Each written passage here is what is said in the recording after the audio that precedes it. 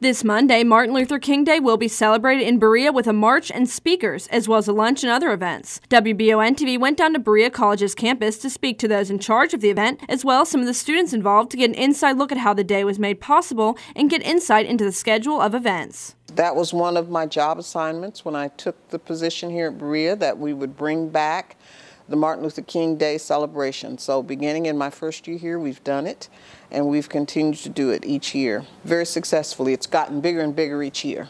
Well, Berea College is very fortunate to have a long history involved with the civil rights movement. And actually, in, on the March on Selma, we had over 50 uh, Berea College students who actually marched with Dr. King from uh, Selma to Montgomery.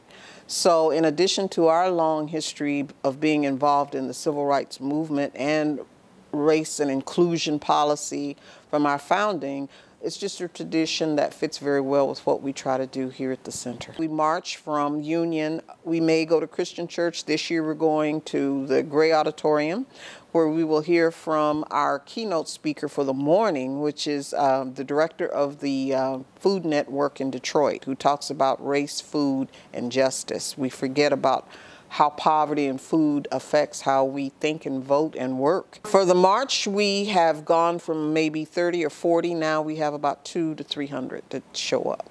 We start playing this back in December because we know when, we, when classes begin, we have you know a very short week to actually um, get this off the ground. So typically every year we actually do a march. So we're meeting at Union Church at 9.30 and we will have songs led by the Black Music Ensemble under the direction of Dr. Kathy Bullock. It is an all day, there are no classes, but the day is filled with activities for our students because it's not a day off. It really is a day for students to be mindful of one, you know, the MLK holiday is the only holiday, national holiday, that honors an African American.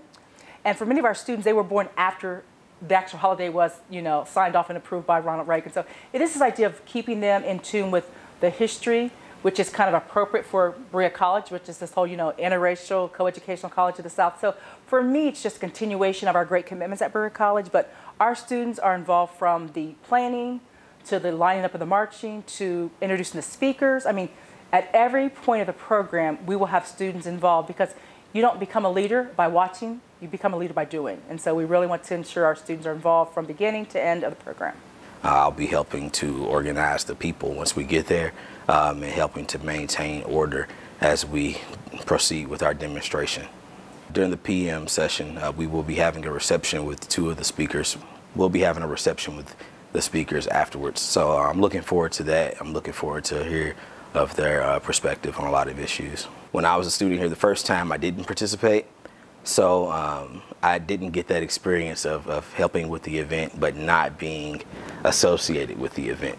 Uh, so I'm, I'm, looking forward to, to helping out again. My freshman year, I was I was here. I loved it. I think it's like a great opportunity for all of us to just like learn our history and then learn how we can move forward and also bring change uh, through the work of the work that MLK and also people in his time and before him tried to bring forward. And so it was, yeah, I've I started working in the center my sophomore year, so I've been helping coordinate this event and it's just like it's nice to be on that side of things and just see seeing how things come together with performers as well as just like how the community comes. It's it's just really beautiful just to see like our campus community and also the surrounding community just like commence on this whole day. This is the 50th anniversary uh, for mlk like his assassination. It's really powerful at least for me now to think about like what how does like what does this mean for us and especially in the times that we're in and like how we move forward with his message ultimately. Regardless of the adversities that you might have with someone because of like their background like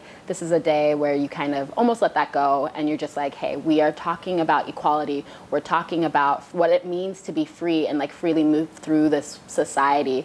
And so it's like it's yeah it's really awesome to just be here for that the day begins at 9:30 at Union Church with the march beginning at 10 a.m. Speakers will continue into the evening with the keynote speakers and reception at 4:30. Stay tuned with WBONTV.com to get coverage of both Berea and Richmond's marches. For WBONTV.com, I'm Marissa Hempel.